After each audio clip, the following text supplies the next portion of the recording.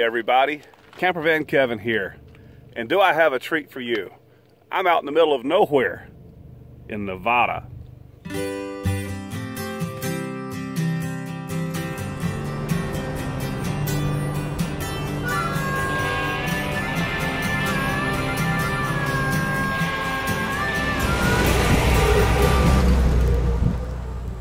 What am I doing here? Well, I'm working on videos for you.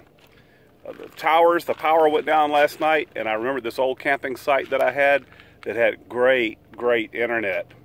It's probably about 10 minutes, 10 miles from uh, the Hoover Dam. And so as I was out here, spent the night working, woke up this morning still working on your videos. Uh, heard somebody drive up. I thought it was a buddy of mine, but the wolf pack got to barking, and uh, turns out one of my subscribers drove by me, recognized me, and pulled over to say hello. Yeah, I don't know if you have the same problem that I have. It just seems like uh, most most nights, and especially on weekends, when I have great signal, it just drops to nothing. But I can see the cell phone towers from here. Not many people on it. Sure enough, I had great internet. But uh, let me introduce you to this guy. Yep, everybody, this is my new friend Jason. How you doing? He's a subscriber to the channel.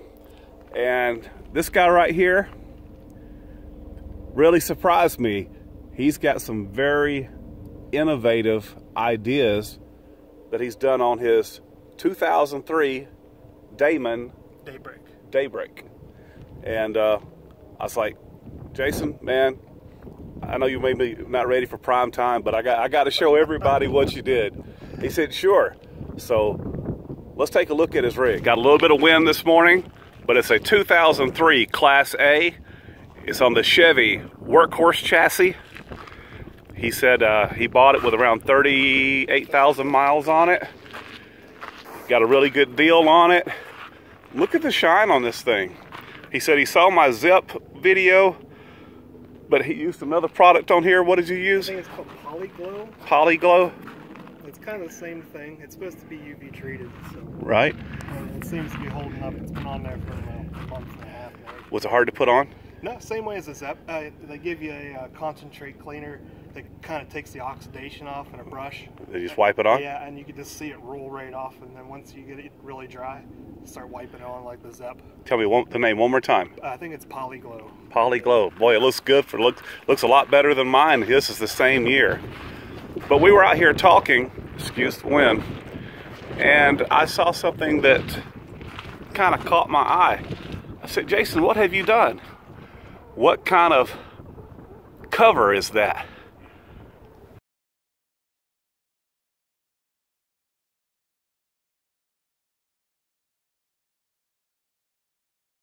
He also put in another uh, roof vent, so Yeah, it's just the RV uh, refrigerator vent. RV refrigerator vent, so the air conditioner could get more fresh air. It just pulls it right in through the top and up. So it pull. Say that again. It just pulls in the, the cool fresh air through the uh, refrigerator vent on the roof. Right. And then it just goes into the cabinet I built and then sucks it into the air conditioner and blows it right out the back through this uh, screened vent. Okay, one thing that kind of got me, and I asked you this when we were on the inside. Uh, where does the water go? The condensation. Well, the water, it, it's actually tilted. You can't really tell much, but it's tilted per the instructions that the actual uh, air conditioner asked for. Uh, so when I built it, it tilts out Okay, and then the it comes water- out these holes. Yeah, it would just drip out of this back on these holes right here that are actually built into that cover. And he runs this uh, with a Ryobi 900 watt propane generator. He said he gave $200 for this on eBay. No, it was on Home Depot. It was on sale. Home I think Depot. it's uh, two ninety nine now. Okay, he got it at Home Depot, but uh, now it's 300. And it's a propane generator. He said he can run a 5,000 BTU air conditioner off that 20 pound tank for About approximately. thirty hours, 30, 35 hours. That- it just depends. Uh, I haven't quite finished it yet. Once I get a door put in there in the, in the bedroom area, Mm-hmm. that's the only part I plan on keeping cool because I can't, can't do the whole RV. And that's, you know, Right, just going to do just just where you're just where you're staying at. Yeah, just where I want to lay down and be cool at night. And and you've got a lot of other ideas. You mind? Let's go in and let, Yeah. let show everybody what you've done. Had no idea I'd be working on videos and then uh, then uh, make uh, another video. Wait a minute. Who is this guy? I think everybody knows him. You're missing something. yeah, I am. I'm hoping to get something to put Uh, there.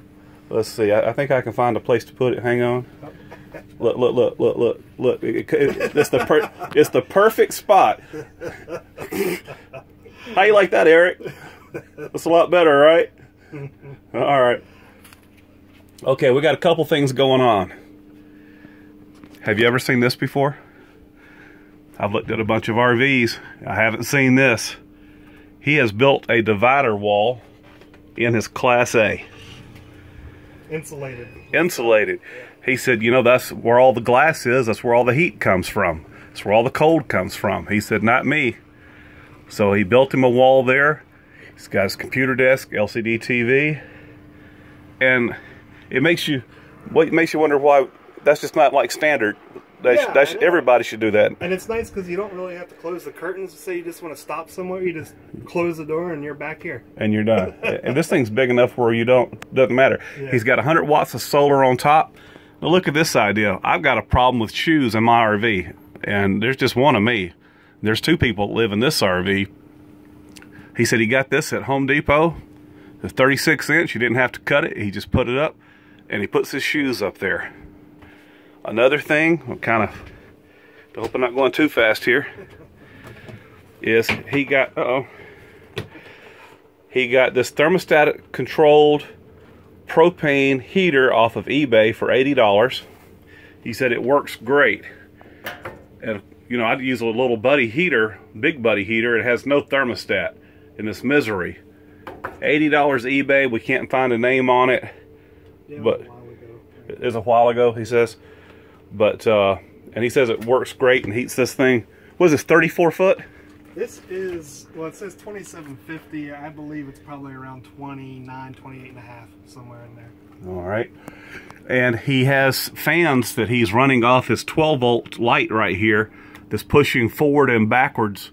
And these are for uh, transfer trucks? I, no, just regular, like, I think you could find it at a RV, or truck stop or anything. I got that on Amazon, I believe, for 16 bucks or something. $16 Mitchell. Yeah. Well, take a look at that. And they're filthy. I have to, I have to clean them. That's my Yeah, yeah, yeah. Well, you, you had zero notice of me coming in your RV. It's awful clean. Let's go back and, and see what you've built here to house this air conditioner because it's pretty darn impressive.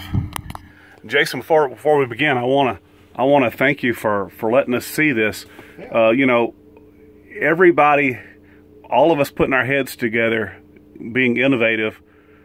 We're gonna we're gonna get to where we can beat air conditioning.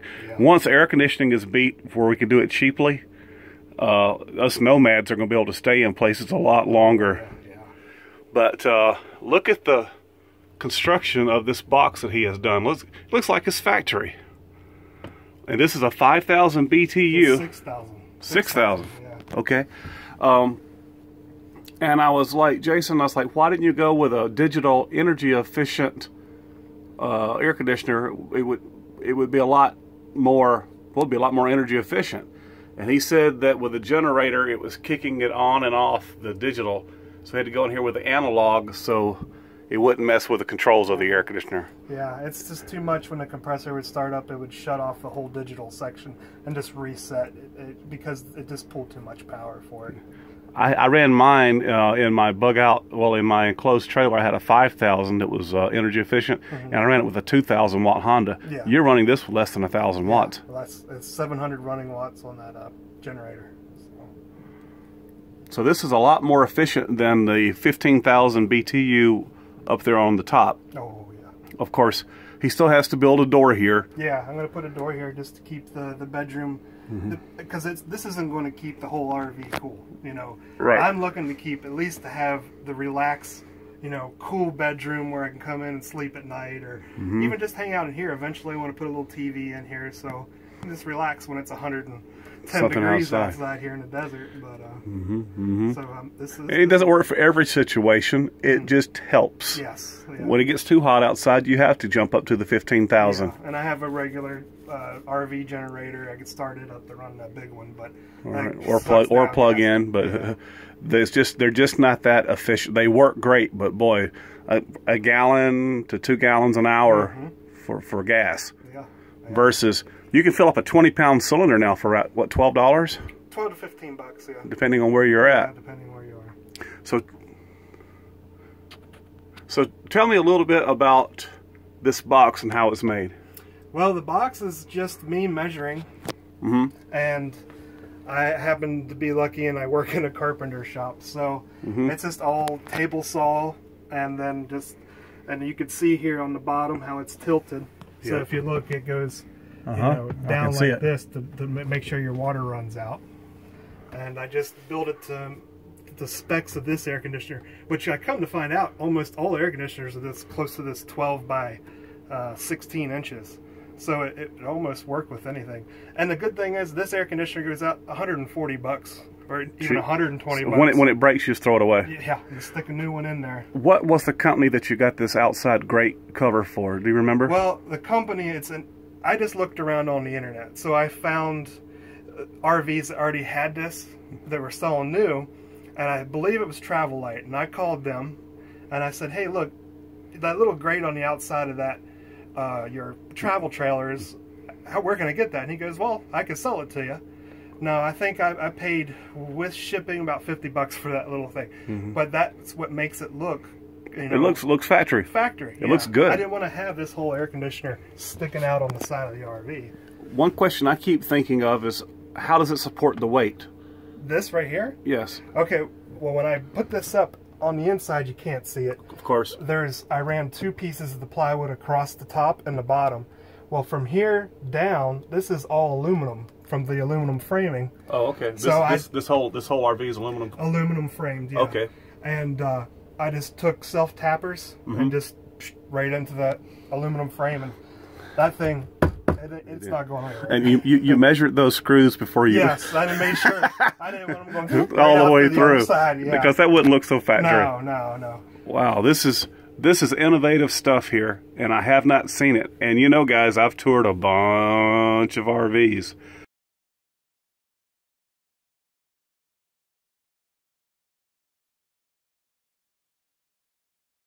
So he's got the the air conditioner here. He's got the wall. Uh, uh, he's he's uh, eighty dollars for his heat. This guy's on his game. Got the fans up there, and I just uh, he come to meet me. He had no idea he's going to get a, his RV toured as well. I didn't care. Hey, I got to meet Campervan Kevin, so I, this is nice to come through here and And Tucker almost beat him. yeah, he's a but he's I can tell he's a sweetheart. they, they they do a good job. They're good doorbells. Oh yeah, yeah, definitely. Let's let's take care of this uh, sticker thing over here. Oh yeah. All right.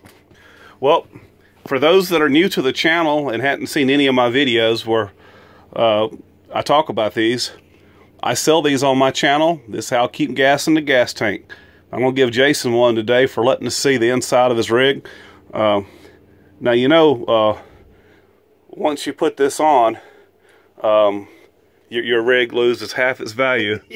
just like, maybe not on the inside, but if you put one on the outside, it's just like instant, you lose half its value. Yeah. Now, I'm not going to tell you where to put this. Okay. Um, yeah, I have, I have a, I have suggestions where it could go, but uh, Yeah, uh, yeah, that's that that's second choice. But first or second pick, I'll let you decide where. Well, I can't get rid of Eric's, you know. But uh, I just can't thank you enough for showing us all this and Oh, yeah. a lot of innovative ideas. get this started here. All right.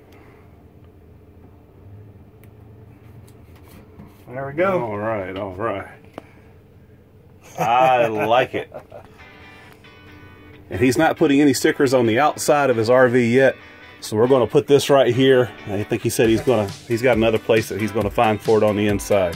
But if you want a Campervan Kevin sticker, down in the description below, these are $6 and these are $5. So if you'd like to support the channel, sure help me out a bunch and keep some gasoline in the tank and my travels going. Okay, everybody. Well, I sure hope you enjoyed this video. Jason has some very innovative ideas. We're lucky that he took the time and let us, uh, well, we're lucky he shared them with us. All right, I'm gonna end the little video right here. I appreciate each and every one of you. Thank you guys so much for watching my videos. Hey, we'll see you again soon. You guys take care. Bye-bye.